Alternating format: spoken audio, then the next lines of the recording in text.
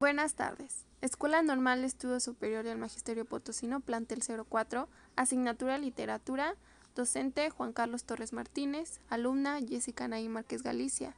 Les relataremos la leyenda La campana enterrada.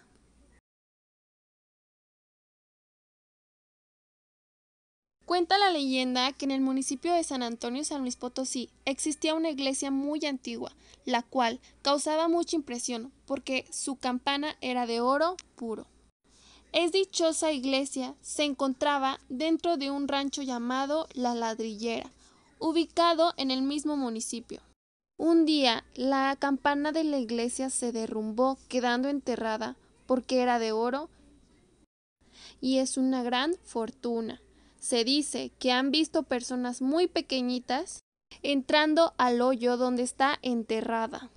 Algunas personas han querido sacarla, pero siempre fallan en el intento. La campana se ve más profunda.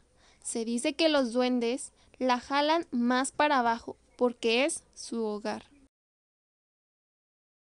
Y cada sábado de gloria, como es costumbre, se escucha la campana muy fuerte debajo de la tierra.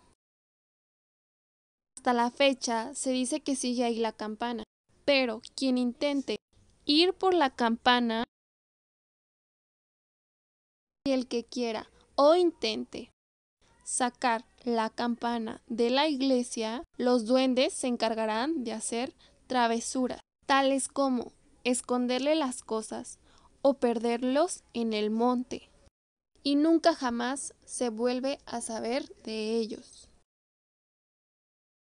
Esta es una leyenda verídica que la gente de esta comunidad lo cuenta. Esta es la leyenda de la campana enterrada en, en San Antonio, San Luis Potosí.